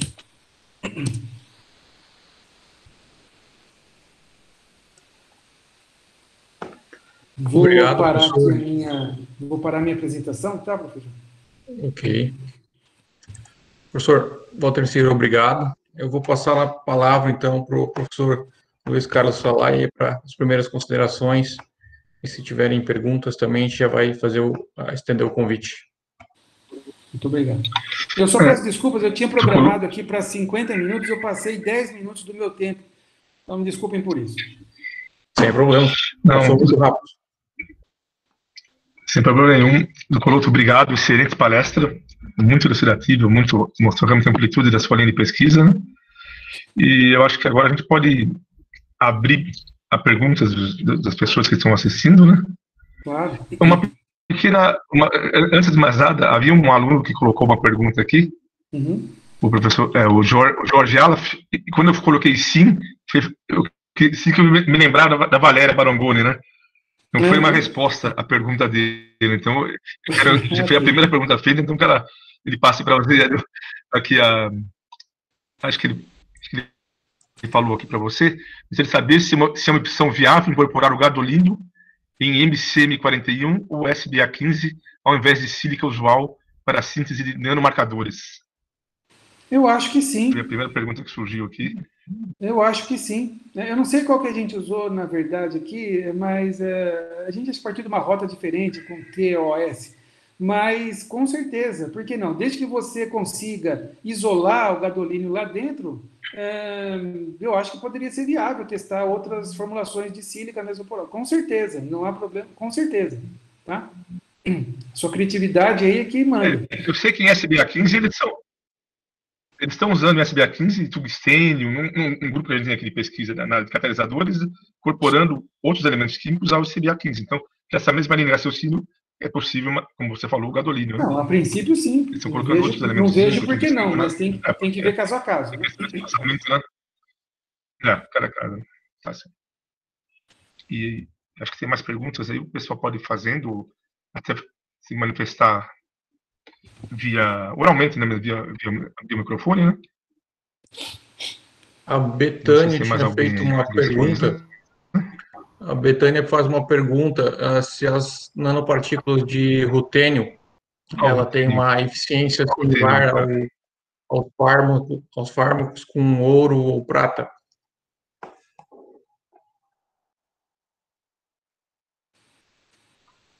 Olha, Betânia, As nanopartículas de rutênio são tão eficientes no sistema de entrega quanto o ouro e a prata. Olha, é, aqui você a princípio já, oh, Betânia, você a princípio já está estabelecendo um ranking, uma prioridade de partículas que são melhores para entrega do que outras. É, esse ranking tem que ser visto com muito cuidado, porque depende de cada caso. Você tem que ser visto caso a caso. Qual é a partícula, qual é o tecido-alvo, qual é o fármaco, principalmente. Tem fármacos que são mais são melhores de ser entregues num sistema polimérico do que em outro, por exemplo. Então não é que nanopartícula de ouro ou prata. Aliás, prata. Prata tem aplicações muito específicas, né? E a gente tem que ter muito cuidado para usar. Prata para delivery é uma coisa muito específica num, num, dentro do corpo humano, né? É, você pode entregar para um, é, você usa atividade bactericida da prata, sanitizante da prata, mas tem que ter muito cuidado, por, exatamente por isso pode ser tóxico para células saudáveis também, né?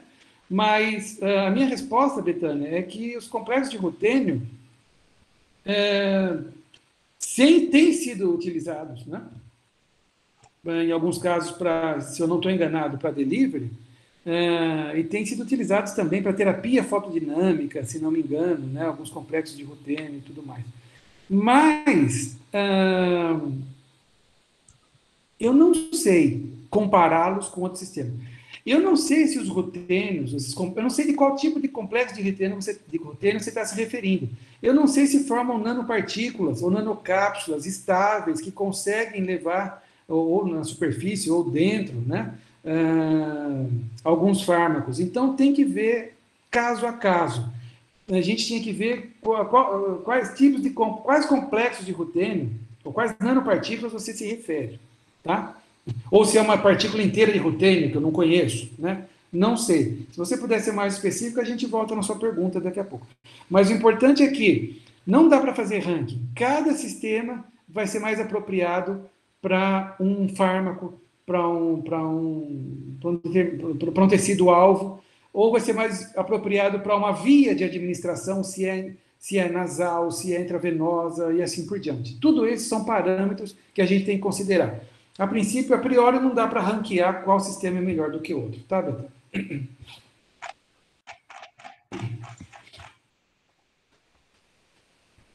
Mais perguntas, pessoal? O microfone está desligado, professor Luiz. Ah, desculpa. Raiz Aflitas tem uma pergunta, mas não falou qual é a pergunta ainda. Se ela quiser se manifestar aí. Não sei se ela está online ainda. Oi, boa noite.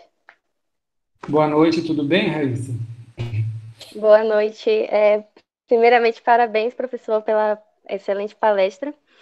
É, o senhor falou aí sobre o uso de, do óxido de grafeno, né? É, e aí a minha curiosidade é sobre o uso desses materiais carbonosos em biosensores e, e entrega de fármacos também, porque na verdade, assim, o, o, óxido de grafeno ele é um material muito duro, né? E aí eu fico imaginando como que é essa interação, como seria essa interação do, do óxido de grafeno com as nossas células. E aí eu gostaria de saber se, se já existem mesmo esses é, biosensores ou entrega de fármacos à base desse, desses materiais, é, e se isso é possível mesmo, né? Se é possível utilizar eles no corpo humano. Ótima pergunta. Então vamos lá, separado por partes, né? Uh, parte de biosensores, uh, que você vai usar principalmente ex vivo, você não vai utilizar dentro do corpo humano, certo? Então, com certeza, a gente não tem ainda, que eu, que eu saiba, um biosensor comercializado à base de grafeno, mas também tem muito, muitos poucos biosensores são comercializados, você não tem nem cinco sendo comercializados, cinco tipos diferentes de biosensores. É, você tem a de glicose, de gravidez, você tem agora os de Covid, mas os de Covid também só apareceram nesse boom por causa da pandemia. Até ano passado a gente não tinha mais biosensores sendo comercializados. Um ou outro ali mais específico, tá? Então, uh, no nível acadêmico, já com eficiência comprovada e patenteados também, com certeza, para biosensores, grafeno é um dos materiais mais utilizados hoje. Né? Principalmente para os sensores eletroquímicos, porque ele atua ali como uma plataforma de transferência eletrônica muito importante, ele é uma plataforma que ajuda a ancorar várias biomoléculas ali junto com ele, então muito utilizado. Né? é, academicamente e também há muitas patentes sobre isso. Uma busca pode te mostrar. Agora, o outro ponto é muito interessante, muito perspicaz a sua pergunta. Uh, a gente estuda grafeno para drug delivery porque no laboratório a gente não está usando ensaios clínicos. A gente está propondo uh, um, um, teste de uma hipótese uh, in vitro, né? Uh, e funciona em muitos casos. Agora, se eu tivesse que apostar num sistema base de grafeno para ir para todas as etapas, patentear, tentar comercial, produzir, comercializar um sistema de entrega para ser usado né, na clínica, em um, seres humanos, à base de grafeno, eu não apostaria porque é muito difícil com o FDA, ou vai demorar muito tempo que a gente aprove o uso desses compostos à base de carbono, né, é, para aplicações em vivo, certo? Dentro do corpo humano. Então a gente faz isso e tem muitos grupos no Brasil, no mundo, na área de nanomedicina, trabalhando com sistemas de grafeno para delivery, mas para resolver, para mostrar provas de conceito, para mostrar que funciona, ou para mostrar que ex vivo pode funcionar muito bem, por exemplo, certo? Ou talvez até alguma coisa superficial na pele, quem sabe? Pode ser diferente. Mas é claro que a gente sabe que, a exemplo dos nanotubos de carbono, pode ser que o, é, demore muito tempo, se é que a gente tem uma aprovação dos, das agências regulatórias para esses compostos à base de carbono. A gente tem um monte de alternativas muito mais seguras. Não há ainda nada que justifique que a gente tenha que usar o grafeno para levar um fármaco dentro do tumor do que uma partícula polimérica, por exemplo. Mesmo que você perca em alguma coisa. Mas não há essa justificativa. Então, essa sua pergunta é muito boa, viu, Raíssa? Mais perguntas, pessoal? Boa noite, professor. Boa noite, é, tudo bem? Parabéns pela palestra. Obrigado. É, eu gostei, eu fiquei interessado pelo gráfico que você colocou logo no início em relação à curva vermelha constante. ela hum. crescendo vai liberando o fármaco constantemente, não é isso? É, minha dúvida é, a, o mundo está nessa corrida em relação à vacina, né? Que aí vacina tem vários tipos de doses, quantidade de doses várias. Eu queria saber se é, é viável a gente produzir é, encapsulamento do vírus para ele, em vez de tomar várias doses da, da vacina, ela sair constante, como se fosse aquela curva, em vez de ter um doses separadas. Será que isso é possível? Olha, a princípio sim, Javan, com certeza. Lembrando que, primeiro, aquela curva que você viu é uma curva desenhada, típica, só para uma curva didática, né? Só para ilustrar o que acontece. Quando você tem uma administração convencional de um fármaco ou quando você tem alguma coisa com nanotecnologia, com nanopartículas, um, um delivery controlado. Aqueles seria situa seriam situações ideais, certo? Mas é muito próximo daquilo. A gente viu, mostrei aqui a liberação de antitumorais, é, naquele último exemplo de nanocápsulas para imunoterapia também, né? É, você tem um perfil de liberação parecido com aquele mesmo. E com certeza pode, né, já tem. Eu agora não vou saber os detalhes, mas eu, existe é, muito de nanotecnologia sendo utilizado para a área de vacina, né? uh, nanocápsulas que vão estimular o sistema imunológico e assim por diante. E, uh, inclusive, uh, para a Covid. Não sei, bom, não, não, não tenho certeza se para a Covid, que ainda é muito recente, mas para vacinas tem muitos, muitos trabalhos usando nanopartículas para estimular. E com certeza, uma das ideias por trás de usar essas nanopartículas é que ela pode ficar ali por um tempo prolongado, né? e que talvez possa até diminuir é, o número de doses. Mas isso é incerto ainda. A gente precisa de vários estudos. Não é para a Covid que vai vir essa, essa vacina com nanotecnologia, não é para agora. Veja, a gente já está seis, sete meses nisso e nós não temos ainda nem as vacinas convencionais, as suas maneiras convencionais de serem produzidas, porque leva muito tempo para o desenvolvimento de vacinas. Mas com certeza, para o futuro, eh, essas nanocápsulas podem ajudar muito no desenvolvimento de vacinas. Inclusive por esse motivo que você comentou, de ele passar mais tempo ali estimulando o sistema. Tá bom, Javan? Tá bom, muito obrigado. Eu queria também fazer uma, uh, uma notícia, né?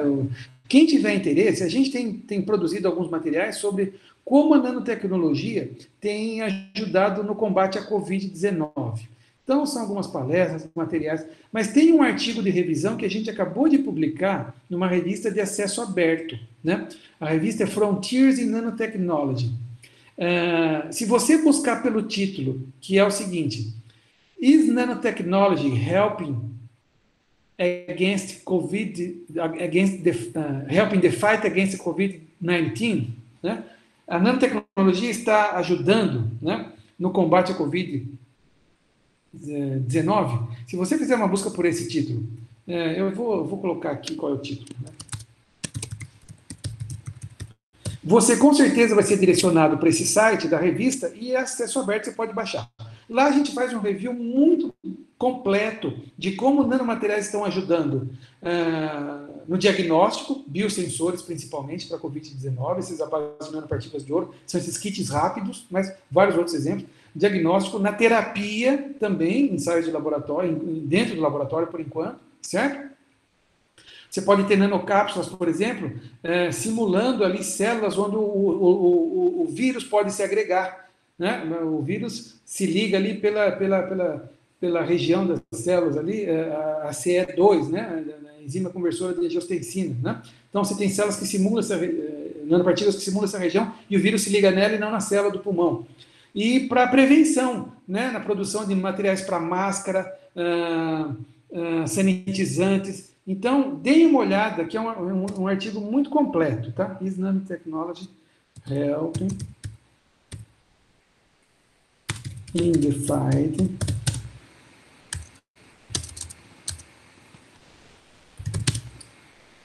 against COVID-19. Tem ponto Professor, eu, eu colei aqui no chat, vê se é esse. Ah, você já achou? Você foi mais, você foi mais rápido para achar do que eu para digitar o título. Parabéns. Fantástico.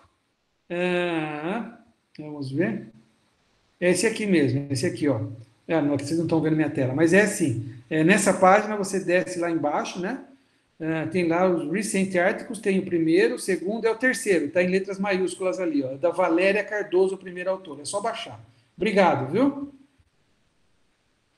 Obrigado, William. Né? Pessoal, mais perguntas?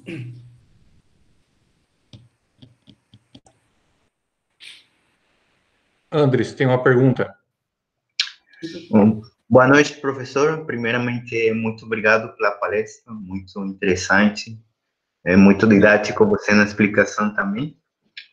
Eu quero, primeiramente, duas perguntas bem breves, são conceituais. Eu queria saber se podemos considerar que os filmes finos são nanomateriais. Tem outra pergunta ou não? É, a outra pergunta conceitual, eu vou fazer uma afirmação, você me corrige se é certo ou não. Os pontos quânticos são nanopartículas. É, isso é certo ou errado falar isso? Ótimas perguntas, viu? E são bem conceituais mesmo, André. É o seguinte, então, filmes finos. Há uma classificação de nanomateriais pela forma. Então, zero dimensão, que são as partículas, nanomateriais zero dimensão, uma dimensão, que são os nanofios, nanotubos nanofibras, e nanomateriais em duas dimensões, duas dimensões, que são os filmes. Duas dimensões estão na, na micro escala ou até maior, né? É, é, mas uma dimensão que é espessura está na nanoescala. Então, eu considero filmes é, ultrafinos como nanomateriais, sim. Você pode até chamá-los ali carinhosamente de nanofilmes, digamos, só para mostrar que é diferente de uma nanopartícula ou diferente. Geralmente esses filmes estão imobilizados, você não tem a manipulação que você tem de uma nanopartícula, de um, de um nanofio, um nanotubo, né? Você os produz em loco, né, para ter aplicação onde você quer, por exemplo, na célula, se esse meu óculos aqui tivesse um nanofilme aqui de óxido de tungstênio, vocês não estariam vendo esse reflexo, por exemplo, né? Então, você pode ter um nanomaterial, sim, eu considero uh, um nanofilme, tá? E eu e não tenho muita certeza, preciso até dar uma checada, mas para regulação a gente considera também esses nanofilmes, tá? Mas aí eu já não tenho tanta certeza. A segunda coisa é a questão dos pontos quânticos. Esses, esses, esses quantum dots, às quais eu me referi, quantum dots semicondutores, são nanopartículas, sem dúvida alguma, certo? E, e excelentes exemplares, inclusive. Agora, existe em física, em física do estado sólido, um pessoal que tem ali, chama de pontos quânticos também, ou poços quânticos, uma imperfeição na rede cristalina ali de uma bolacha de silício, por exemplo. Ali, eles chamam de postos quânticos ou pontos quânticos. É um conceito diferente desses pontos quânticos que eu estou falando aqui. Então, são duas coisas distintas. Não sei se era isso a que você se referia, mas esses quantum dots... Ah, sim, sim. É, é, lá é diferente. Lá não tem nada a ver com partícula. É uma, é uma, é uma, é uma, é uma região específica ali, um defeito na rede ali, uh, que tem efeitos quânticos importantes, né? Mas esses que a gente mostrou né, na área de nanotecnologia, quantos dots são esses materiais? Tá? Tem, quantos, tem os carbon dots também, né, que são esses quantum dots à base de carbono. Se bem que quantum dot é uma terminologia mais antiga. Né? Eu diria, a gente pode até ter, ter denominações mais novas aí para esses, né, esses semicondutores nanocris, semicondutores é, cristal, é, cristalinos né, na nanoescala. Tá? Mas ótimas perguntas, viu, André? Então, uma última coisa, você poderia me falar um pouco como é a questão dos, do comitê de ética quando vocês vão fazer experimento? Você mencionou que fazem ex vitro, né?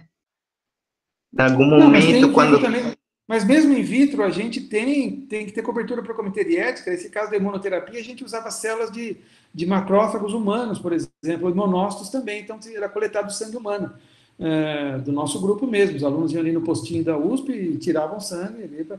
Então, nesses casos, precisa de, de, de, de, um parecer positivo do comitê de ética. Não é, nunca vi nenhum problema com relação ao, ao objeto de estudo ser nanopartículas ou nanomateriais. o comitê de ética acho que não tem, não vai, não se preocupa com esses aspectos. Ele vai cuidar daqueles aspectos né, da sua, que fazem parte das suas prerrogativas de ética e segurança e tudo mais. Tá? Mas pelo fato de ser nanomateriais, não, não tem nenhum problema. Ótimo. Muito obrigado. De nada. Mais alguma pergunta, pessoal? Se, se não, eu vou fazer uma pergunta, então. Estou curioso. Professor, achei muito interessante que vocês também fazem a síntese né, desses nanomateriais, e inclusive essa sacada de fazer na forma de nanorods para absorção do infravermelho aí foi, foi sensacional, né, em vez das nanopartículas uh, mais próximo da esfericidade, né. Eu queria pedir, fazer uma pergunta mais abrangente para você sobre a consolidação de nanomateriais na medicina, se existem já uh, abordagens já em vivo, né, uh, na prática com uh, nanomateriais. Vocês têm um, um, material inovador, né, que já estão estabelecendo um procedimento, né, para aplicação no futuro. E eu queria saber sobre a sua percepção sobre o uso desses nanomateriais, se em uma ou outra vai ser comum esse tipo de procedimento aí para tratamento de células cancerígenas, entre outras doenças? Ótima pergunta, professor Marcelo. Então vamos lá. Primeiro, essa questão dos nanoroides é muito interessante mesmo, mas não é mérito nosso. Uh, já vi outros grupos no mundo produzindo nanoroides antes da gente, então uh, não, é, não é mérito nosso os nanoroides. Né? Isso é mérito de outros pesquisadores pioneiros aí para a área de nanoroides de ouro, esses nanoroides que a gente né, é, se referiu aqui, tá? Então, a gente só teve a sorte de contar com bons químicos no grupo que produziram e tem produzido até hoje esses nanorods, né?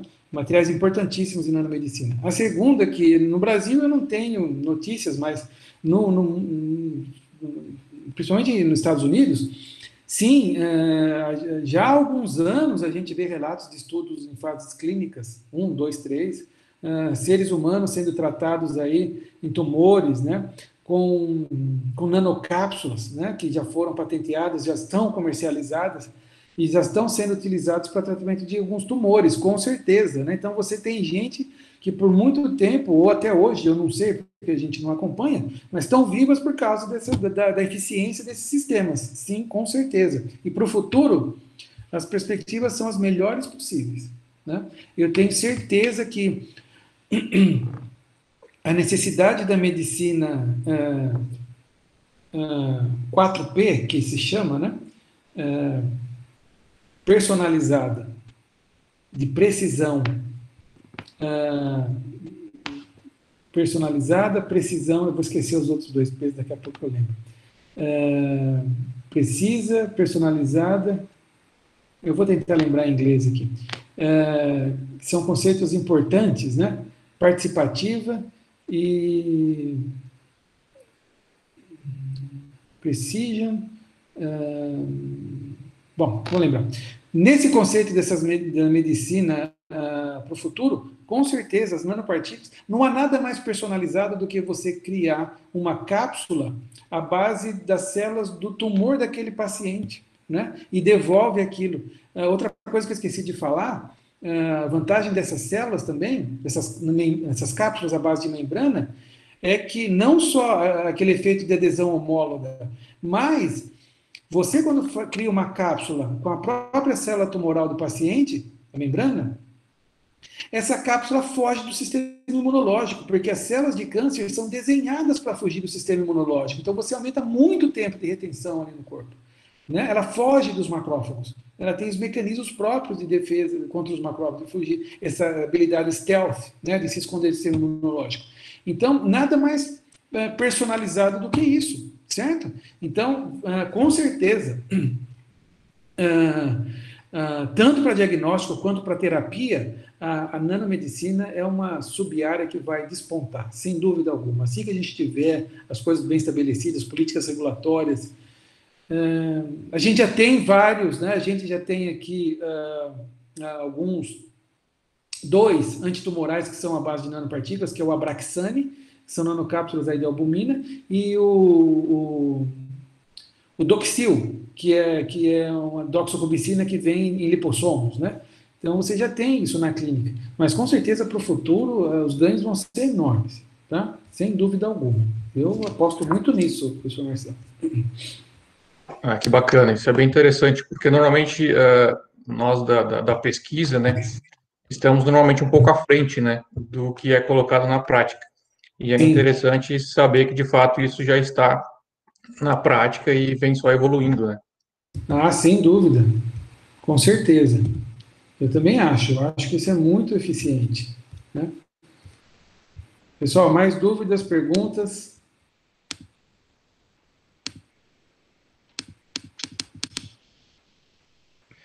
Professor, a aplicação desses nanomateriais é feita de que forma em vivo? E a longo prazo, esses materiais são expelidos pelo corpo? Como, como funciona após o, o tratamento? Ah, essa é uma ótima pergunta.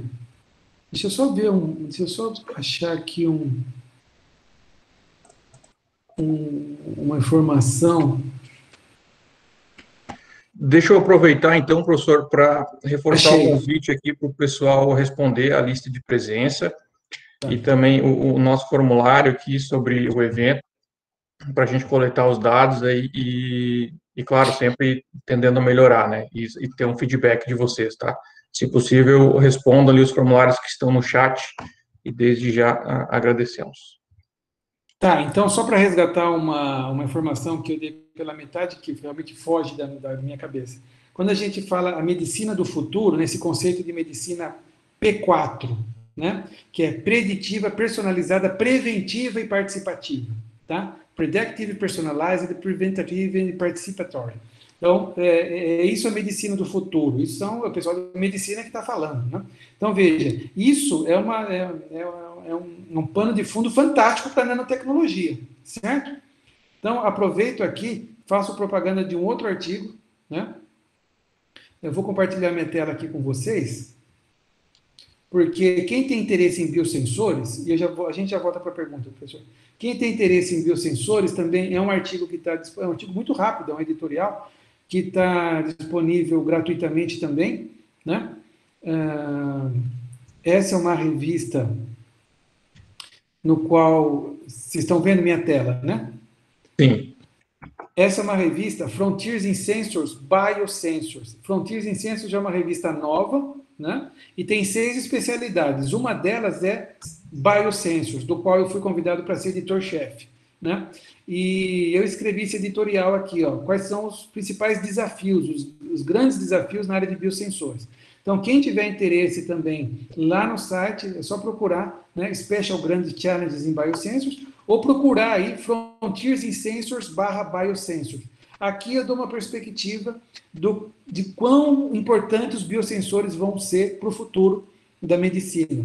E passo também pela, pela parte de nanomateriais, tá? Então é só essa propaganda mais aí que eu gostaria de fazer, tá bom? Uh, Frontiers e Sensors e Biosensors. Tá? Bom, vamos à pergunta então, professor. Desculpa, agora o senhor tem que refazer a pergunta que eu não lembro mais. Assim, como, como são feito, uh, como é feito né, a aplicação ah, desses nanomateriais é... e se eles são uh, absorvidos ou permanecem a longo prazo? Ótima pergunta. Então, veja, há uma, várias maneiras de se fazer essa aplicação. A literatura literatura traz vários tipos de administração, intravenosa, intraperitoneal, por gavagem, onde você coloca um tubo, vai direto para o estômago do, do, modelo animal, por exemplo, né? Então, tem várias rotas, certo?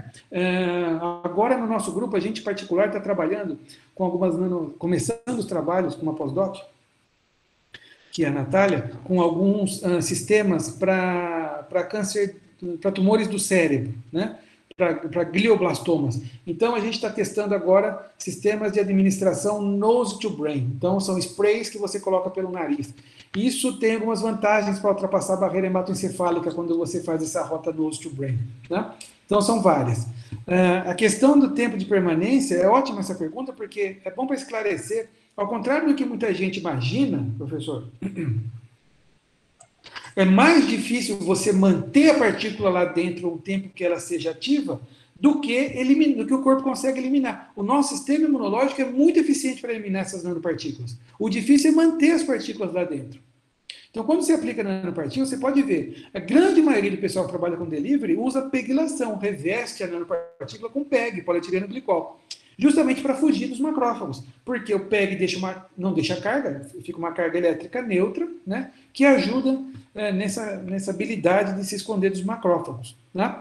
Então, o nosso corpo é muito eficiente para eliminar, para fazer o clearance dessas partículas. Mesmo depois que ela é internalizada nas células, se for nanopartícula de ouro, por exemplo, vai ser degradada, vão sair os elementos, vão sair os íons, né? Nanopartícula polimérica também vai ser degradada e vai sair pelas rotas normais de excreção aí de clearance das células. Então, não, o problema não é o acúmulo, né? o problema, a dificuldade maior é manter. Claro, em algumas situações, em alguns casos, sim, se o material da partícula é tóxico, isso tem que ser tudo caso a caso, né? As partículas de polímeros biodegradáveis ou de ouro, o problema não é o acúmulo, é mantê-las ali por um tempo hábil para que ela exerça a sua função. Certo? Entendi.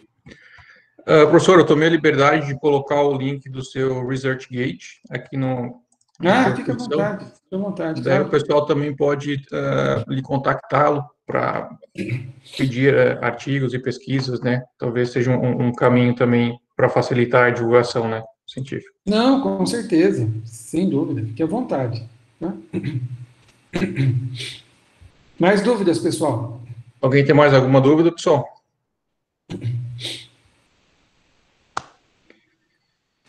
De fato, o tempo passou bem rápido, né? Uma palestra interessante, a gente não vê passar. E, de fato, um tema bastante uh, abrangente, né? Uh, todos têm interesse nesse tipo de, de tema, né? Tanto na tecnologia, principalmente voltada à medicina. Uh, então, se não tem mais nenhuma, nenhuma pergunta, eu acho que a gente pode encerrar. Faço agradecimento a todos, especialmente ao professor uh, Valtenciro Zuculoto, pela atenção dele, por estar se disponibilizando a, a fazer essa palestra para nós, pelo seu tempo. Uh, também passo a, a, a, passo a palavra, então, também para as considerações finais da professora Tatiane Benvenuti, que abriu o áudio também aqui para fazer as considerações dela, e depois também o professor uh, Luiz Carlos Salai para fazer o, o fechamento. Bom, eu gostaria de agradecer ao, ao professor Valtencir, a todos os participantes, é, tanto né, da UESC, do PROCIM e de outras instituições, e da nossa equipe né, de organização do evento, que né, é o primeiro dia a gente podia passar por vários imprevistos e foi, e, e foi tudo resolvido. Então, parabéns a todos.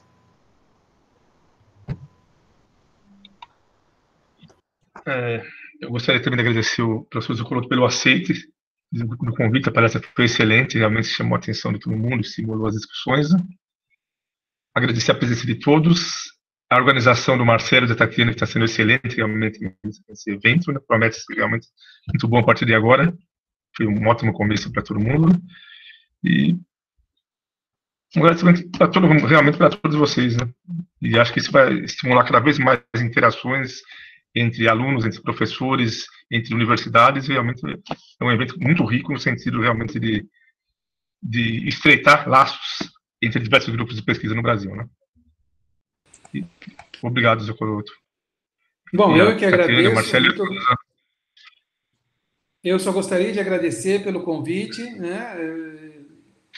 E também aí uh, pela organização, né?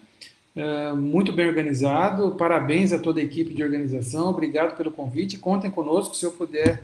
É, vai ser um prazer. Se em algum outro momento a gente puder colaborar com algum, algum seminário, né, em alguma área específica, contem conosco. Muitíssimo obrigado a todos, viu? Boa sorte a todos. Com Deus, até a próxima. Obrigado mais uma vez, professor. Obrigado a todos obrigado. os presentes e mantemos contato, então. Ok. Então, obrigado a todos, boa noite.